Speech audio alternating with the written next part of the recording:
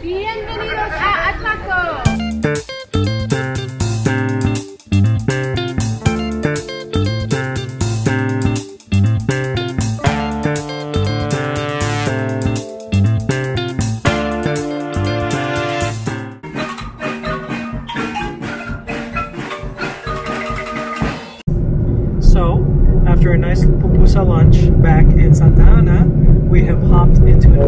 and we're going down to the town of Ataco on the Ruta de las Flores, the route of the flowers, which is known for just being a beautiful route through the El Salvadorian countryside.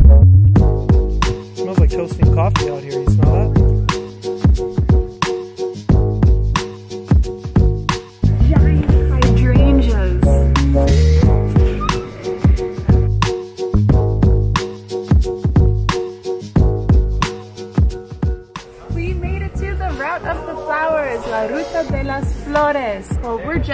Of La Concepcion de Ataco. And we got in a little too late to get on the bus and head over to check out the cities along the Ruta de los Flores. So we just walked down um, the route of the flowers to this spot called Entre Nubes. It's a beautiful restaurant. Um, there's a little indoor spot to eat, cafe section. There's like four different sections to this place. Um, and there's a gorgeous garden out here with all of these giant blooming hydrangeas. Um, and right now, it doesn't quite smell like flowers because it smells like roasting coffee. Uh, the smells delicious out here. I think they have a bunch of um, coffee plants in the back and they, they grow and roast their own coffee here.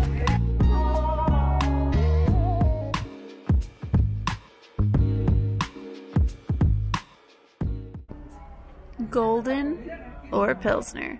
Which local El Salvadorian beer will win?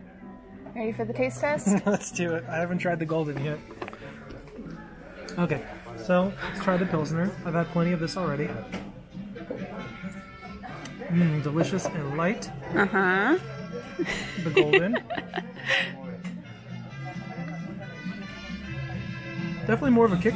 Oh, really? Yeah, it has a little bit more bitter in it. Huh. But still, They you know, they're both both look- really light beers. They both look super light. Yeah, Central America's all about light beer. Uh huh. My turn. Uh, what Megan likes better. She's trying the golden first. Not bad, right? I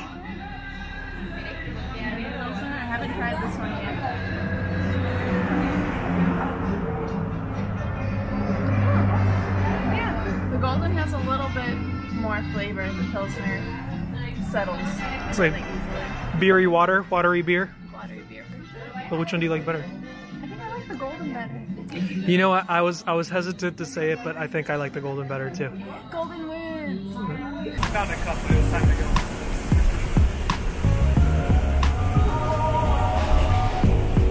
Where are we going, baby?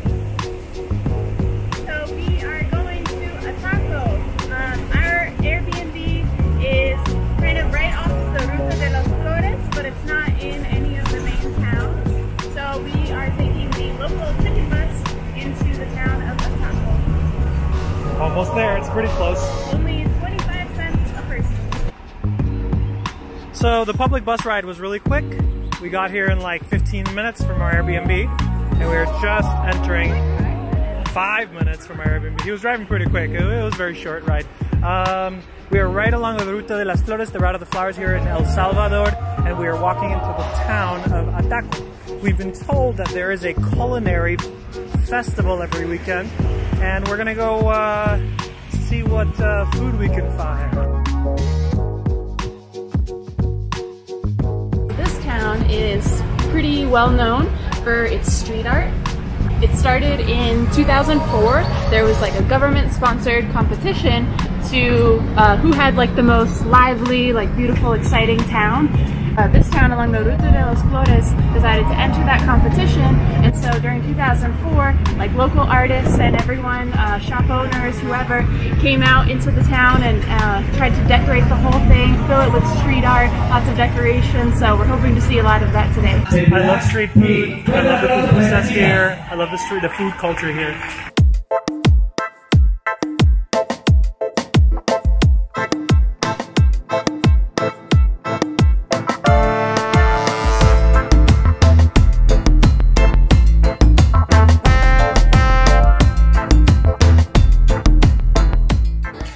Course, we're at a food festival. Part of that's eating some food. Megan got some gringas. These are the ones. These are the gringas. She said the gringas have more like guacamole and beans in them, and the quesadillas are just cheese. Gabe's meal has arrived. Oh, Jesus, look at this. Look at this beautiful feast. Got the little tiny onions, got 10 huge medium-sized shrimp, got half a quarter avocado, got some pasta. Damn, that shrimp looks super well seasoned.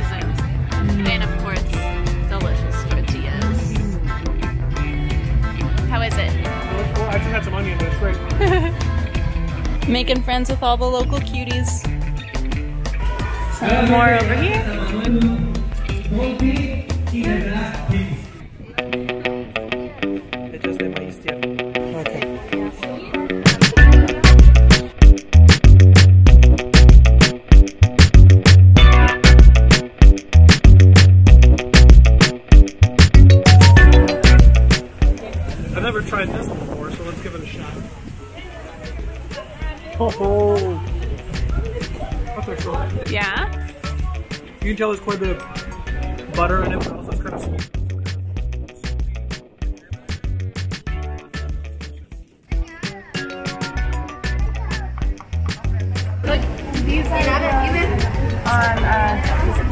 Semana Santa uh, in April, like around Easter time. They lay out the, the carpets in the streets. Uh, they do the same thing in Antigua, and they do it here as well. This lady's probably probably got to get some back pain or something, right? Oh my god. I mean, I'm saying it sucks. It's, it's rough.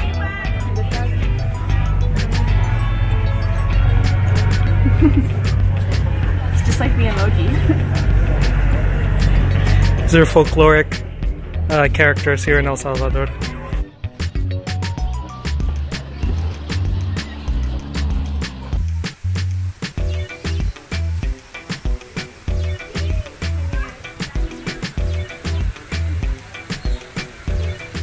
Not from here, and if you want to just come spend the day, that's totally doable. Chill and colorful and beautiful here. There's lots of awesome places to eat and get food, tons and tons of crafts and artwork. And from what I heard from people around us talking, a lot of regional tourists from other parts of Central America and from other parts of El Salvador actually come here as well. You know, Chris and Marianne from Tread the Globe said, don't skip El Salvador. And I'm afraid to say they're right. Don't skip El Salvador. Not at all. Definitely worth coming here. El Salvador is a beautiful country. Thanks for the tip, Chris and Marianne. Buenas para dos personas. Gracias.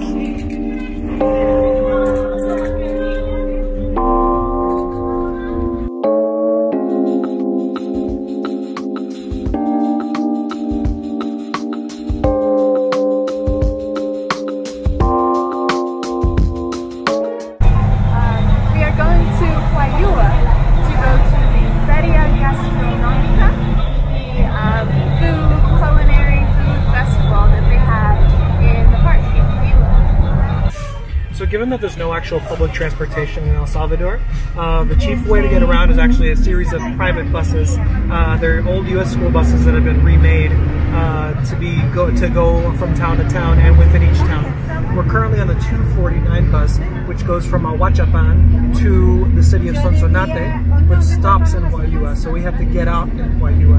Uh, this bus actually goes through the majority of the Ruta de las Flores, the Route of the Flowers. It costs only 50 cents. So La Ruta de los Flores actually gets its name from these uh, beautiful white flowers that bloom on coffee plants. That usually happens around May um, in, in springtime here. So we're not quite in the season for it. It's, it's November right now. Um, but we are seeing plenty of wildflowers along the route, just not the, the white flowers that the route is known for. So, we have made it to Juayua, and the first thing I've noticed that it is much warmer down here. We have uh, certainly descended in altitude. The ride was mostly a downhill ride. Much hotter down here.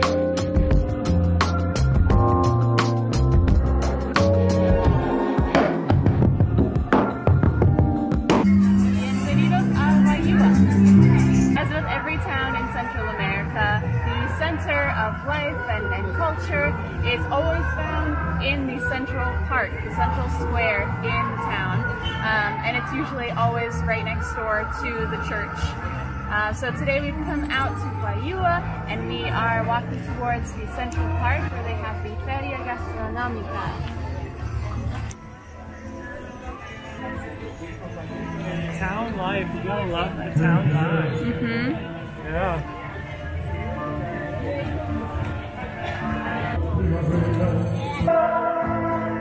Across a very impassioned singer right here.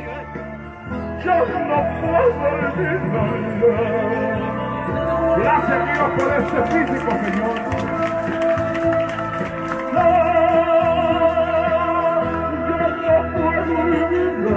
That's some damn good evangelizing right there. Really wish you guys could smell this right now. Yeah. Let me tell you something. This street food culture here in El Salvador is unparalleled. I mean, maybe on par with like, Malaysia or something, but like the street food culture here, the variety, the freshness, the very fair prices, the sweets, the seafoods, the meats, the pupusas, the tortillas, whatever you're looking for, it's here. El Salvador has awesome food. You have to come on the weekend though. Every weekend in Ataco and in Juayua. Like I'm assuming all over El Salvador. Huge street food. This is something, this is different level street food.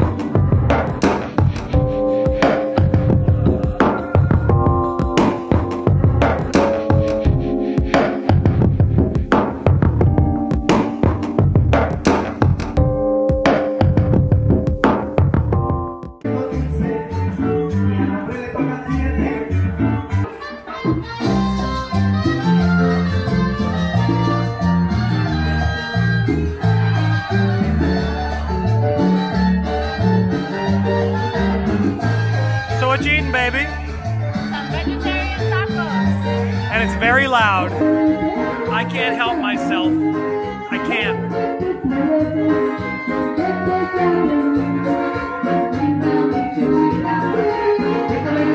lot of stuff. It's a lot of food on one plate. This is gonna get messy. So usually when you think of a quesadilla, it's like ubiquitous with, Amer- with uh, Mexican food. It's a tortilla filled with cheese and beans and whatever. But in El Salvador, quesadilla means something completely different. Check it out.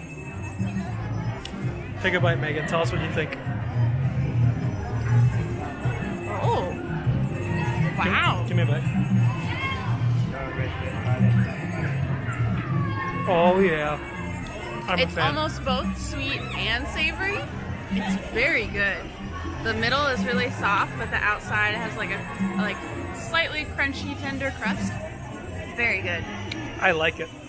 Fan of the quesadilla. Those would be great for breakfast with some cafecito or something. That is mm-hmm. awesome. Oh,